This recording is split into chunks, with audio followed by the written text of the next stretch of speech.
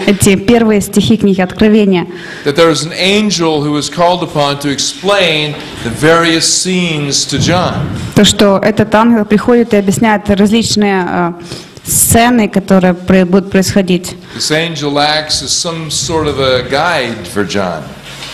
И этот ангел является своего рода э, направляющим для Иоанна. In fact, angels are referred to 67 times in the book of Revelation. И, кстати, об ангеле сказано в книге Откровения э, 67 раз. So angelo, which is the Greek word, Ангелу на греческом языке.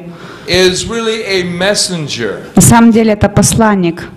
Um, an, an angel who is considered to be a messenger, Ангел, который является посланником, but by implication, it can also be a pastor, но также может быть и пастором. one who is the messenger of the Lord.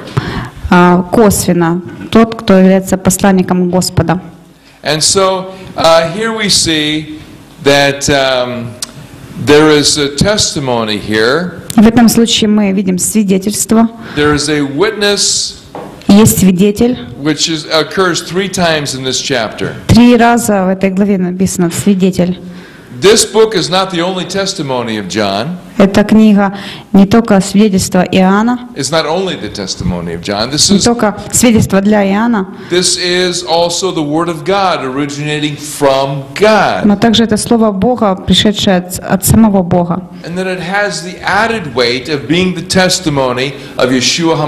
И также другие способы этой книги, как он, она, эта книга является свидетельством о Ишуа Хамашех.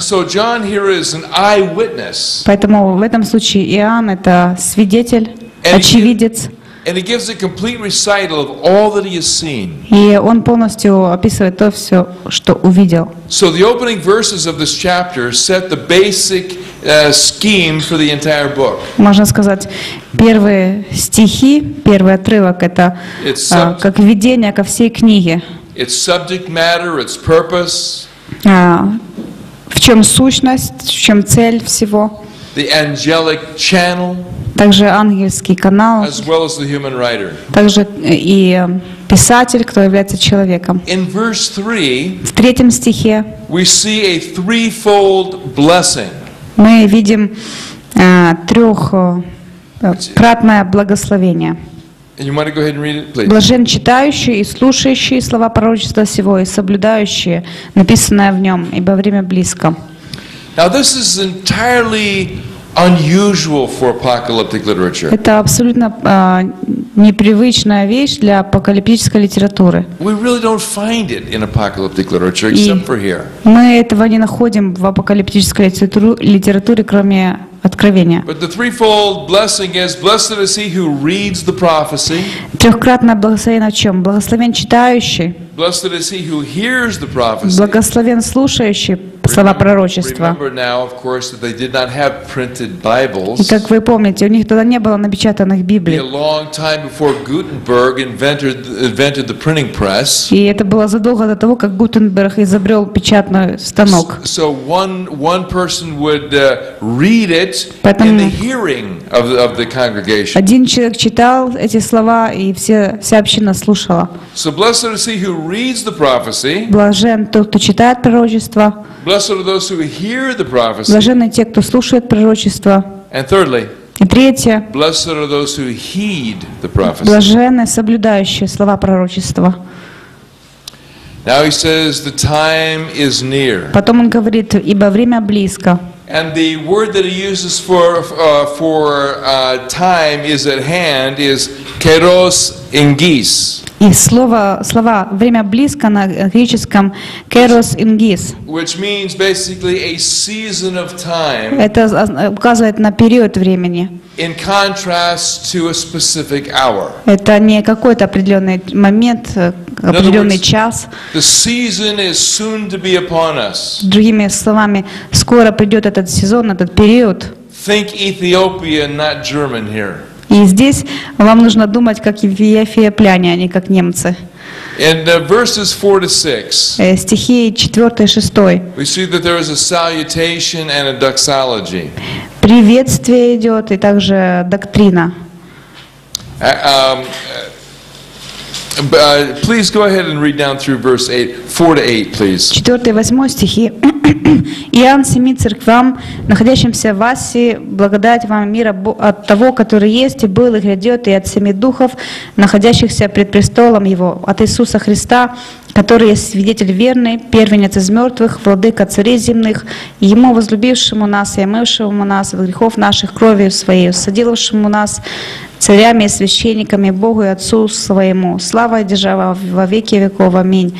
Все грядет с облаками, и узрит его всякое око, и те, которые пронзили его, и возрыдают пред ним все племена земные. Ей аминь. Я есть Альфа и Омега, начало и конец, говорит Господь, который есть и был и грядет Вседержитель. Now, all seven congregations here addressed are, are, are to be addressed are located in the western half of Asia Minor or modern Turkey. Все эти семь церквей, к которым обращается это послание, находятся в Западной Азии. And he uses the expression here, charis ke irini, or grace and peace, И он говорит, Хриски Рине, это означает благодать и мир. which is very common in Paul's letters, for И example. очень часто а, так говорит Павел в своих посланиях. And this is used here by, by John and again in his second epistle. И Иоанн использует тоже эту фразу здесь в своем второй, втором послании. He speaks of the one who was and who is and who is to come. Он говорит о том, кто был, кто есть и кто грядет. And this is uh, about as close as you can come in Greek to saying uh, Yod He Vav He. И в греческом языке это самый ближайший перевод Юд Хей Вав Хей. which basically means he who is. Это тот, кто есть. Я есть. Кто был, есть и грядет. We, we remember in Deuteronomy chapter 32, verse 39. Второзаконие 32, 39, мы помним. See now, it is, it is I, even I am he. И посмотрите, что это я есть. Just go ahead and paraphrase it, please. Because we're going to move on to another verse.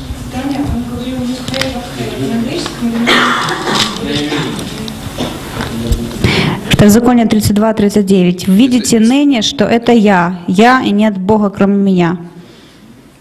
Okay? And also Isaiah chapter 41, verse 4. Исайя 41, 4, стих 4. I am the Lord, am the first, and with the last am the same. The whole verse there, Isaiah 41 4. 41, 4. «Я Господь первый, и в последних я тоже, тот же». Now, the alphabet of Rabbi Akiba explains the divine name И Равин Акива объясняет э, божественное имя as past, present, and future. как э, прошлое, настоящее и будущее. Before creation, До творения, after creation, после творения and in the world to come. А, и также в грядущем мире. Rabbi Isaac, who lived about year 300, Равин Исаак, который жил примерно в 300 году, has said that the Holy One said something similar to Moses. он сказал, что святой сказал слова, подобные Моисею. «Я тот, кто был, and I am he who, who is now, я есть тот, кто был, я есть тот, кто есть сейчас, and I am he who will be forever. и я есть э, Он, который будет всегда». The, the uh, uh, Jerusalem Targum of Deuteronomy 32, 39, И Иерусалимский Торгум 31-39 годов is uh, the closest parallel of all to what we find here in Revelation. – это ближайший параллельный текст, который мы можем найти к э, книге Откровения. I am he who is, «Я есть, кто есть, and who и кто was, был, and am he who will и be. кто будет». And when referring to God in the future, И когда мы говорим о Боге в будущем, all these Jewish texts use the phrase, во всех этих еврейских текстах используется фраза he who will be. «Он будет», «Он тот, кто будет». Now, Revelation uses the phrase, А в Откровении используется фраза he who is to come. а, «И грядет». Он, он есть тот, кто грядет. Now, there's also reference here in the book of Revelation to the seven spirits. Также в- мы находим здесь э, описание семи духов. So let's talk about some interpretation, perhaps, of these seven И spirits. какие существуют толкования этих семи духов? Are these seven spirits seven angels? Является ли семь духов семь ангелов?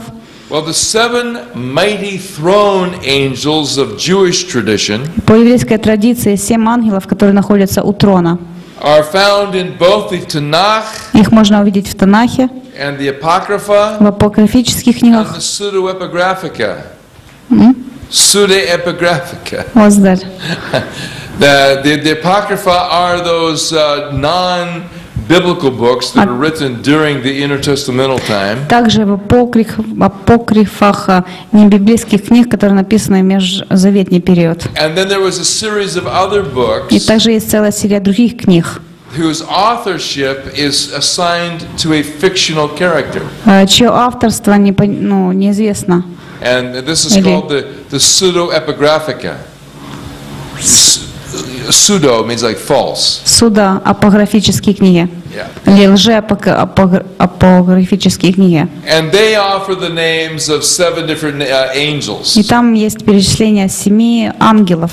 But uh, the use of the term spirits for angels is rare both in the Hebrew Bible and the New Testament. Но если взять э, еврейские писания, э, использование слова «духа» в описании ангелов, о- очень редко это можно видеть. But now these seven spirits seem to be correlated with the seven Но congregations, также мы видим, что эти семь духов соответствуют семи церквям. with the implication that each congregation is under the tutelage of its own guardian angel. Можно м, как бы представить, что каждая из церквей имеет своего ангела-хранителя.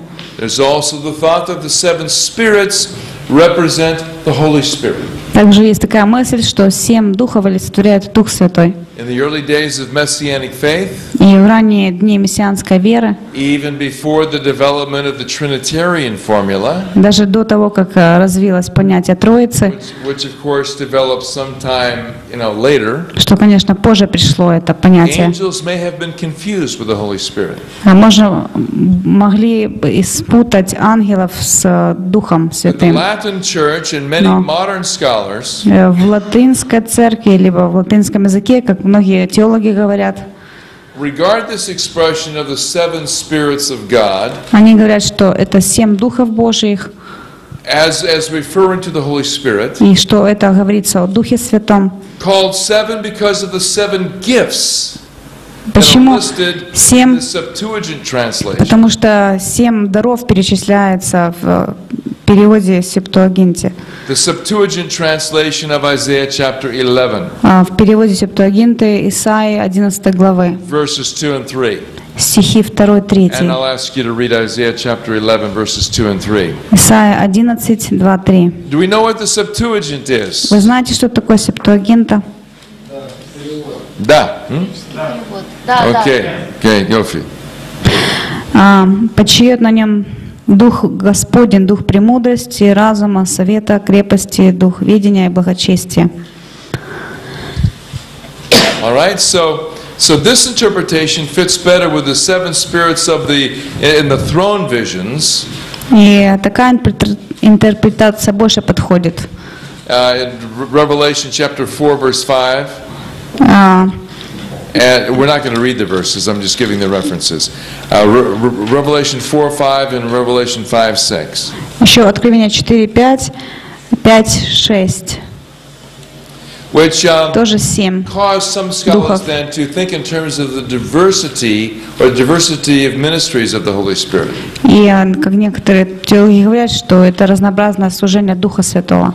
So in this case, we, we would see the Trinity, И в этом случае мы увидим Троицу, the Father, Отца, who is the Tetragrammaton, the Yod He Vav He, который является тетраграмматон Ютхей Вавхей, the Spirit, Дух, which would be the sevenfold ministry of the Holy или Spirit, это семикратное and the, служение Духа Святого. and the Son, Yeshua the Messiah. И Сын Ишуа Мессия. So let's now move to verse 5. Давайте пятый, пятый стих We see прочтем. Yeshua the Messiah is here identified Мы видим, что здесь сказано о Ишуа Мессии, as the firstborn of the dead. Он является первенцем из мертвых. This is a reference to his resurrection. Это ссылка на его воскресение. In contrast to those who were previously restored to life to only die again, В противопоставление к тем, которые были подняты к жизни, чтобы снова умереть. people like Lazarus, for Такие example, как who was Лазарь. raised from the dead Он and был then died воскрешен, again. потом снова умер. Messiah is the firstborn, Мессия первенец, the first to receive a resurrection body, первый, кто принял э, тело воскресения, which is immortal. и который является бессмертным. И он является правителем над царями земными. То есть он царь царей, владыка царей земных. И мы видим это действие.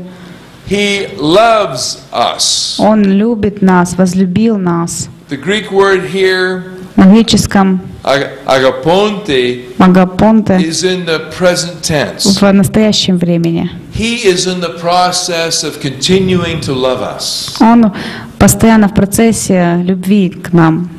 He also uses the word lucente, Также люсанты, which means he loosed us from our sins by his blood. а перевод этого, он освободил нас от грехов через свою кровь. This, this is not in the present tense. И это не в настоящем времени This используется. one is in the aorist tense, Это используется в прошлом времени. me- meaning he did this once То, что он сделал это однажды и навсегда. This was a one-time thing. He released us. Однажды, один раз он освободил And he has made us to be a kingdom of priests. и соделал нас царями, священниками. And all believers now, И все верующие, верующие сейчас, Jewish believers, верующие евреи, очевидно, in, in fulfillment of, uh, of Exodus chapter 19, это как исполнение схода 19 главы. but all believers now Но также все верующие являются царями, священниками, исполняют э, священнические функции. And Revelation looks forward to the exercise of our royal priesthood. И откровение, в книге Откровения это предвкушение, когда мы применим это священство, это царственность. Revelation 1:7, please. Э, Откровение 1.7. Все грядет с облаками, и узрит его всякое око, те, которые пронзили его, и возрыдают пред ним все племена земные. So behold, he is coming in the clouds. Он грядет, грядет с облаками. Takes us right back to Daniel chapter 7, verses Таким- 13 and 14. Эм, Образом мы снова же возвращаемся к Данилу, 7 главе, 13 стиху. And every eye will see him, even those who pierced him. «И каждое око узрит его, даже те, кто пронзили». Takes us right back to Zechariah chapter 10, uh, chapter 12, verse 10. Это Захария, 12 глава, 10 стих. And all the tribes of the earth will mourn for him. «И все племена, племена земные будут рыдать». This is an expression almost identical with Matthew chapter 24 and verse 30. Это почти идентично с Матфея 24 главе, главой. I'm surprised not more of you are taking, uh, taking these references down. А? I'm surprised that not more students are writing down these, these references. Я удивлен, что очень много студентов записывают ссылки. Hey, this is really good preaching material. И это очень хороший материал для You проповеди. know, Daniel's a little bit tougher. Вы знаете, что Даниил очень труден. It's a little bit hard to preach Daniel. Очень сложно проповедовать из Даниила. Очень сложно учить книги Даниила. hard to be a student of Daniel. Yeah? Даже быть студентом, изучающим книгу Даниила. И трудно проповедовать книгу Даниила об- общине. Be difficult И то же самое можно сказать о большей части книги Откровения. По этой же причине. Потому что это апокалиптическая литература. But Revelation 1, 2, and 3 Но Откровение 1, 2 и 3 главы, 1, wanna 2, take good 3, notes. вы хороши, делайте заметки много, потому что вы можете взять много идей для проповеди, для учения, Things that you will be able to, to uh, benefit uh, home Bible studies or Sunday school материал, то, что можно использовать в uh, воскресной школе, э, либо других общинах, Now, другими способами. we see that he uses the word amen, И он говорит «Аминь», which is uh, использует слово «Аминь». trans, the transliteration of the Hebrew word amen. Это транслитерация слова на иврите «Амен» And amen simply means true or Что? faithfulness. означает «правда», либо «верно», «верность». And so here is a, a- just a statement, be it true, so be it. И, то есть будет истина, пусть будет правда. Так. And uh, you might want to uh, write down Isaiah chapter 65 and verse 13, Исайя 65:13 можете записать. where in the Hebrew there, the word amen is used twice to demonstrate that God is the God of truth. На иврите там слово «амен» используется дважды, чтобы показать, что Бог является прав... Богом правды, Бог- Богом истины. In Revelation 3.14, Откровение 3.14. the Messiah himself is called Amen, Сам Мессия назван Амен, with the added description, the faithful and true witness. или же верный и истинный свидетель. And, Аминь. and of course, in John 14:6, Иоанна 14.6. Yeshua said, I am the way, the truth, and the life. Он говорит, «Я путь и истина и жизнь». So let's come to verse 8 in Revelation. Стих 8. Bevakasha likro. «Я есть Альфа и Омега, начало и конец, говорит Господь, который есть и был и грядет, Вседержитель». Now, the Alpha and the Omega, of course, are the first and last letters of the Greek alphabet. Конечно, Альфа, Омега, первые последние буквы греческого алфавита. And uh, this uh, calls, uh, calls attention instantly away from the creature claim, away from the, away from the idea that he would be a, a, a creature. Также мы как бы отходим от той идеи, что Он создание, что Он является созданием. Ишуа не был создан. Ишуа вечен. He spoke creation into existence. Он сам сказал, и произошло э, творение. The expression Aleph to Tav Э, до Тав выражение. was used by the uh, Hebrew rabbis to signify completely or entirely. Это выражение использовали раввины для того, чтобы показать полностью, либо совершенно. And so these names together signify that uh, the God И- Эти выражения показывают, что Бог великий, Бог всемогущий, to come, кто был и есть, и который грядет. Это никто другой, как сам Иешуа.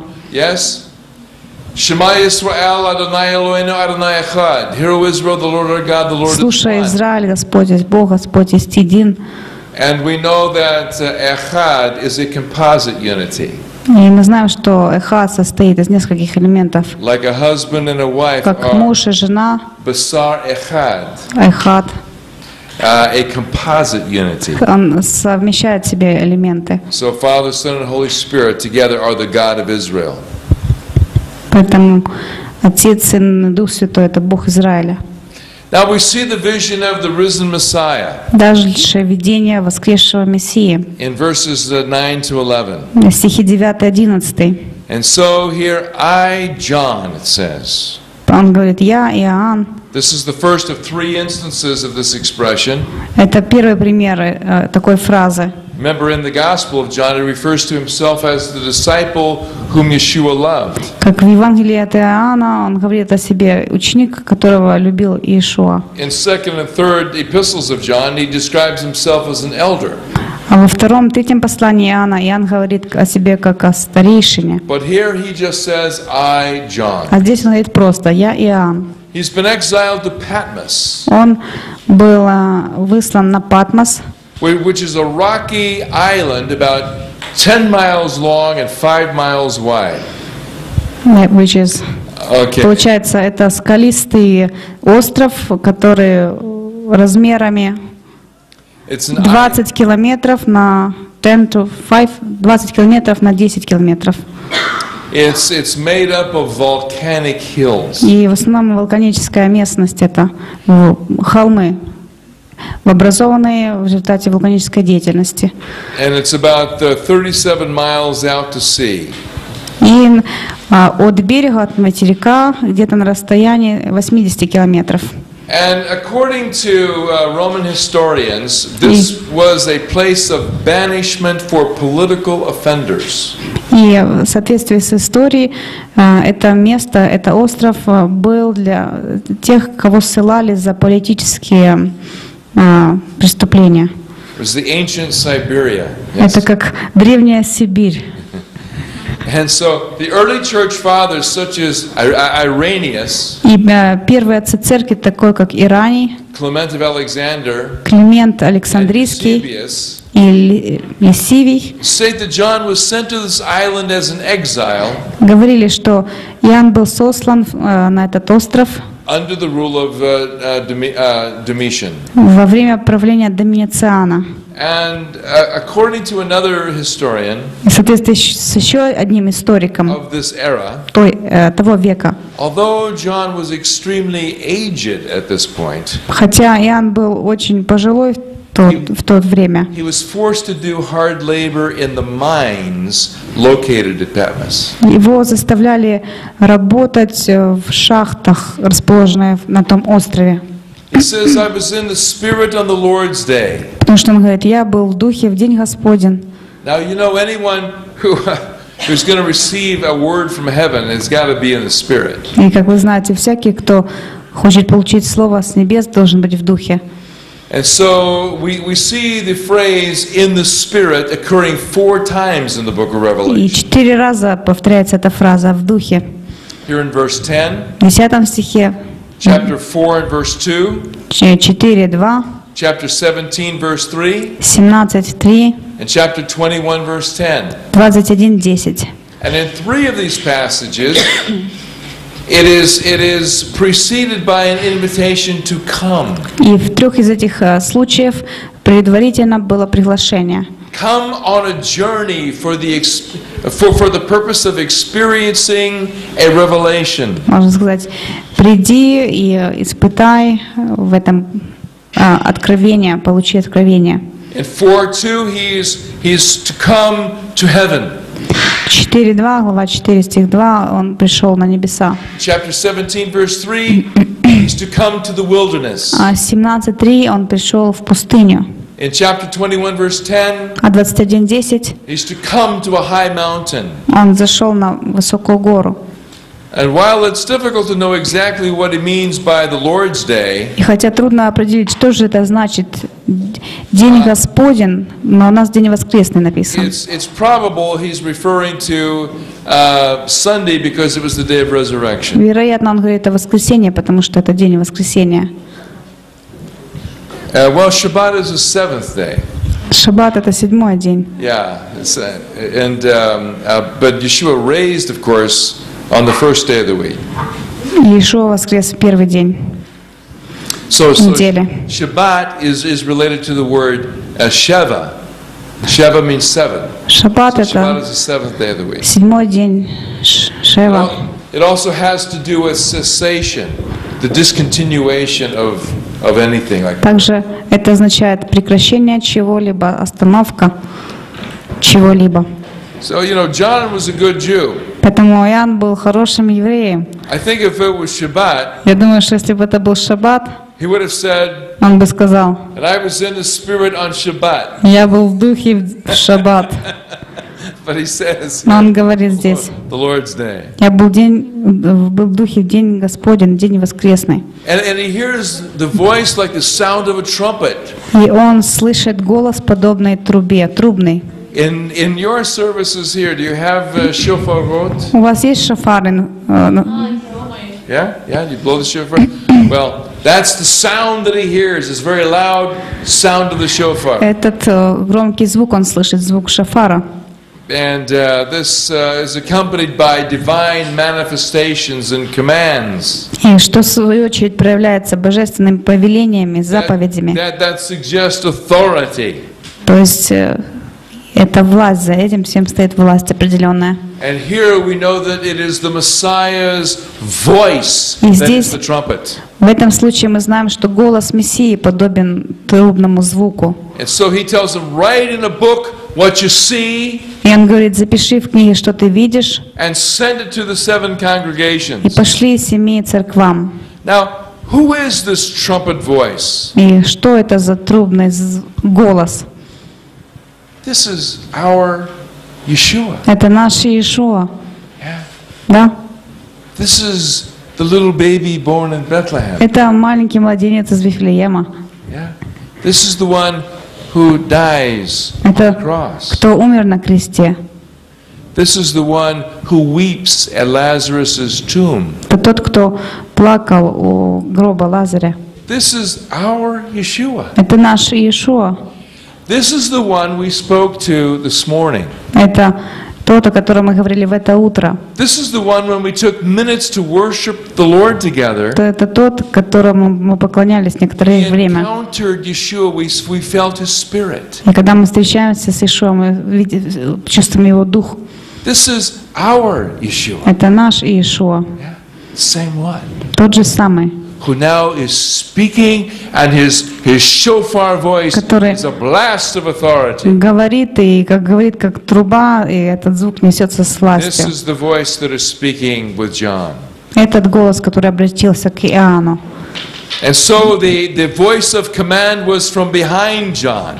Поэтому голос, который был из-за Иоанна, позади Иоанна, слышал позади себя. I trust that you have uh, read these first chapters of Revelation. Я доверяю и верю, что вы прочитали эти первые главы книги Откровения. If you have not read the first three chapters of Revelation uh, this week, Если нет, тогда прочтите эти три главы. please do not raise your hand Пожалуйста, не поднимайте своих рук, because I don't want to know. потому что я не хочу знать. Okay. I hope, Я I надеюсь, hope that you have been reading these passages что вы читаете эти отрывки, because it's very important for you to really have the benefits потому что очень of a важно, recent чтобы reading. э, вы имели все эти преимущества недавнего Now, you чтения. know, we've only got, I mean, our time is almost gone today, И как вы видите, время почти наше закончилось сегодня, and we've only got two more days. и нас еще два дня. We, we've got to get Осталось. through the whole Megillah. И нам нужно пройти еще всю могилу. Yeah, you know what a Megillah is? Знаете, что такое могила? Yeah, um, a, a Megillah is the scroll. Это свиток. Yeah, the scroll. Свиток. So we, yeah, this, um, yeah, we we've got to get through the whole Megillah. We've got to get through the whole scroll of Revelation. Нам нужно пройти еще, изучить весь свиток Откровения. And there's 22 chapters. We're in chapter one. И мы только на первой главе, а тут 22 главы. So what I would like you to do, if you haven't done it this week already, И что бы я хотела, чтобы вы сделали, если вы еще этого не сделали? uh, tonight I would like you to read through the whole book of Revelation, Прочтите всю книгу Откровения. uh, so that we don't need to necessarily take time in class to do that. Для того, чтобы в классе мы этому не уделяли время. Now, if you don't read it yourself and we don't read it in class, Если вы не прочтете, и мы не будем читать в классе, then a lot of our teaching is, is not really going to benefit you. тогда учение не будет, э, не принесет вам пользы. Yeah. So you need to be, Поэтому- you need to do this so it's fresh in your thinking. Нужно вам сделать это, чтобы это осталось у вас в голове, было, ос- освежили это. Now, uh, um, I want to, I'd like to continue through the end of uh, chapter 1. Я хотел бы завершить первую главу, позволите мне,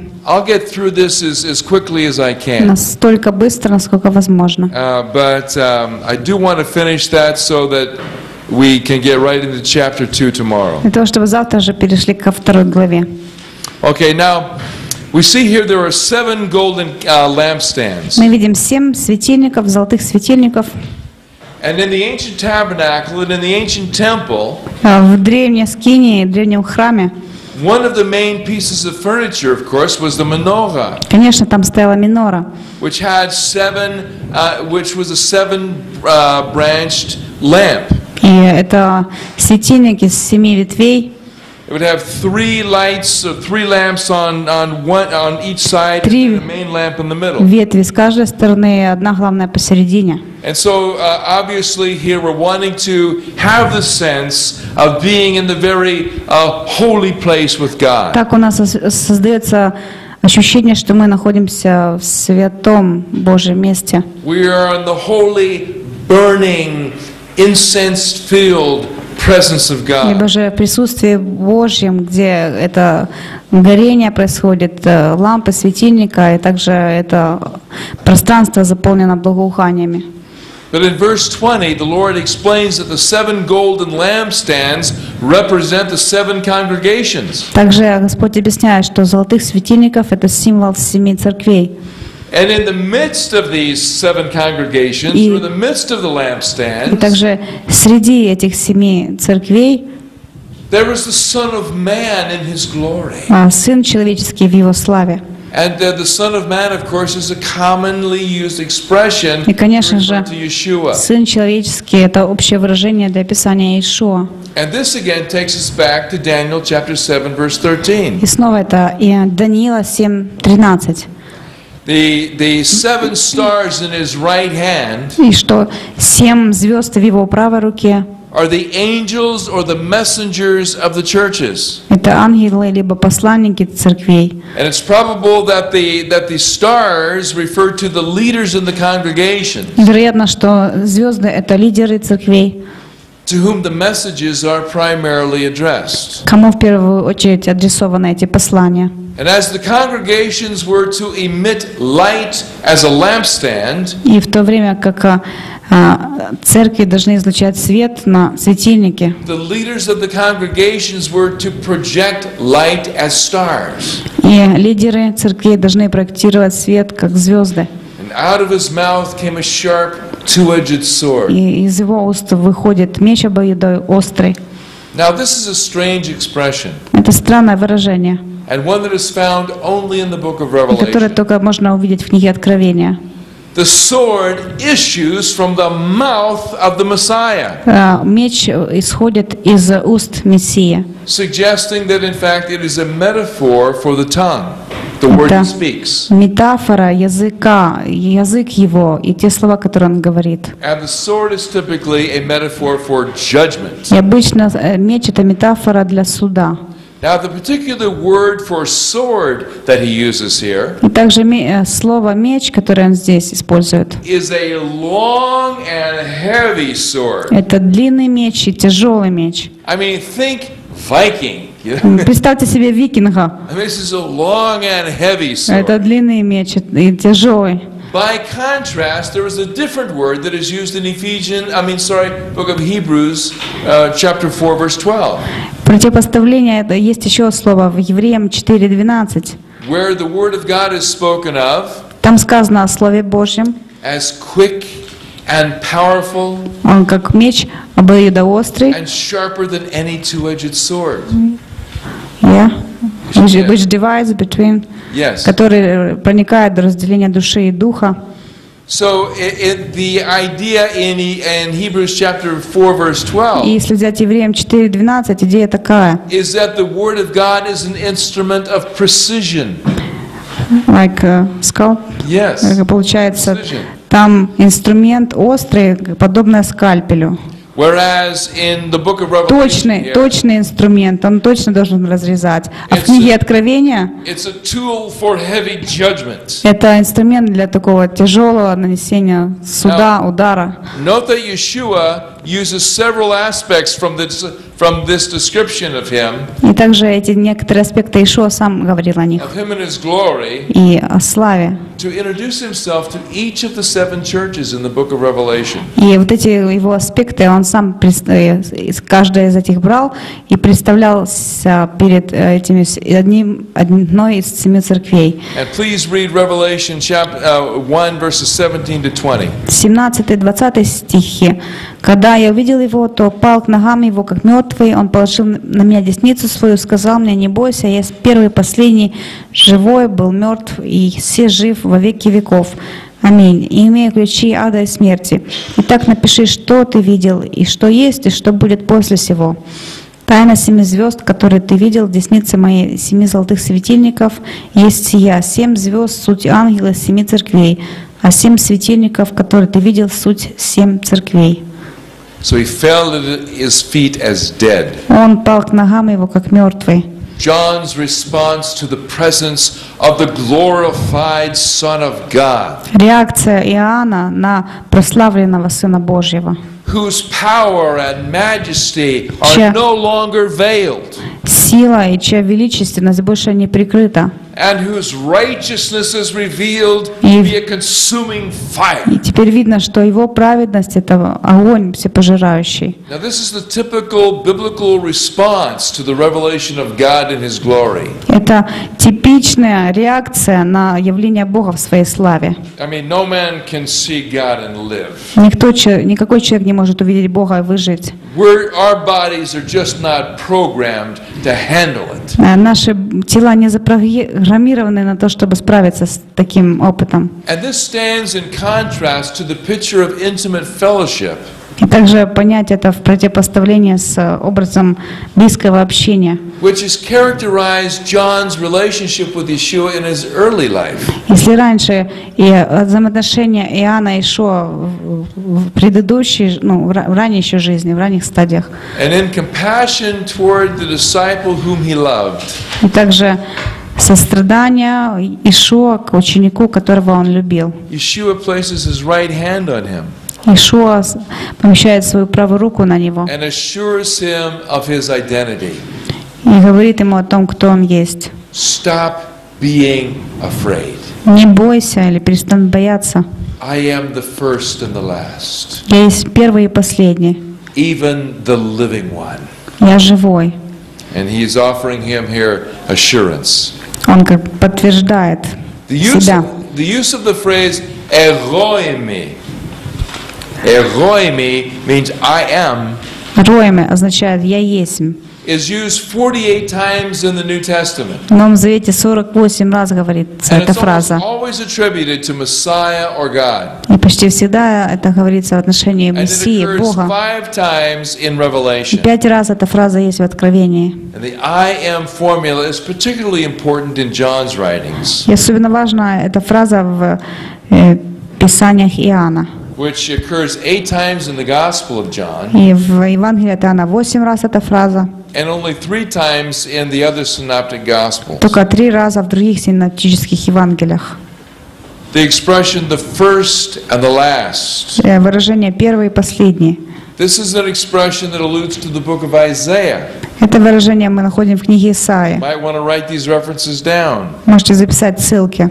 Isaiah 44 6, Исаия 44, 6, 41 4, 41, 4, and 48 12. 48, 12. He is the eternal one who lives. Он вечный, он, который живет. And this is a present tense. И это в настоящем времени сказано. He is one who is living continually. Он тот, который живет постоянно. He died in time, Он умер во время, но после воскресения он жив вовеки. And he has the keys of death and Hades. У него есть ключи от смерти и ада. This implies that he is the sovereign over physical death, Он суверенен над физической смертью, which terminates life in this world. э, физической смертью, которая прекращает всякую жизнь в этом мире. But he's also the sovereign over hell, Но также он суверенен над адом uh, the life after death. и жизнью после смерти. So Hades here Ад, о котором здесь сказано, refers to the intermediate state, the, in, the, the in-between state. а, ад, о котором здесь сказано, это а, среднее состояние, среднее положение, which is to be distinguished from the lake of fire or Gehenna. Этот ад нужно отличать от э, огненного озера либо гиены. which refers to the eternal state. Там говорится, Remember- там сказано о вечном состоянии. We'll see later in the book of Revelation Позже в книге Откровения мы увидим, that hell or Hades что ад is cast into the lake of fire, будет брошен в озеро огненное, which burns forever. который горит навсегда, вовеки. So, uh, as the one who is an authority over Hades, И он имеет власть над адом. our Yeshua is sovereign over all life to come. И наш Ишо суверенен над всякой жизнью. And so, John is commissioned here to write. И, и такое поручение дано было Иоанну записать. 19 and 20. Стихи 19 и 20. He's to write down both the things that are happening Он должен записать все то, что происходит, и то, что еще произойдет. И на этом мы остановимся. Hashiur nigmar. Hashiur nigmar.